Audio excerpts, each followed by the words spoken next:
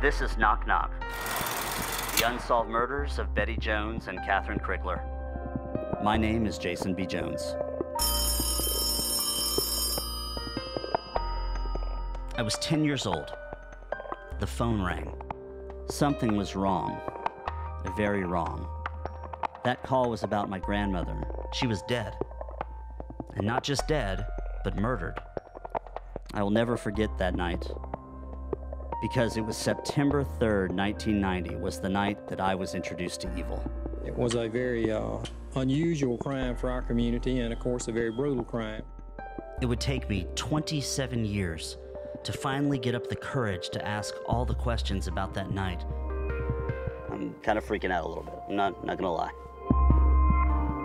It was important for me to see where it happened as I was documenting this and trying to understand it.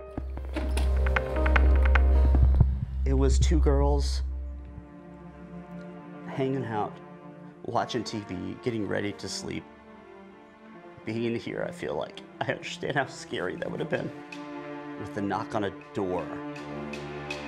Betty goes and answers the door, and the guy comes in, and immediately Catherine starts hearing screaming and knows something is wrong with Betty.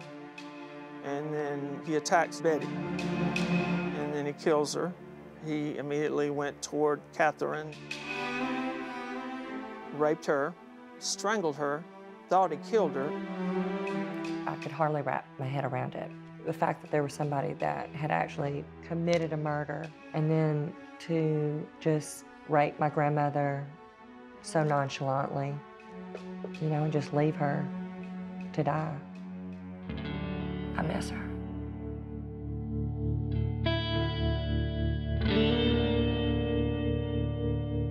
What was done in that house was as bad as anything Jack the Ripper ever did. Standing in front of this house today, 28 years later, what's it like for you, knowing that you still don't have your man?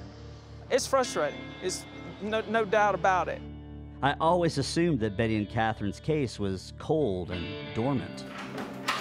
What I learned is that Sergeant Lott is no ordinary police officer. Even though I'm a dinosaur, I, I, I'm constantly getting on the internet and looking at science. Parabon, what they do is they take the DNA and they developed a DNA facial recognition of the killer.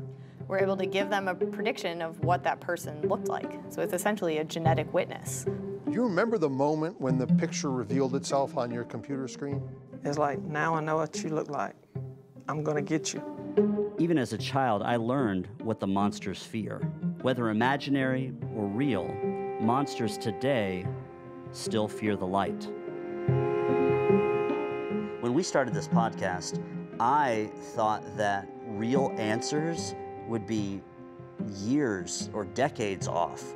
Never in a million years did I think that we would get answers so quickly.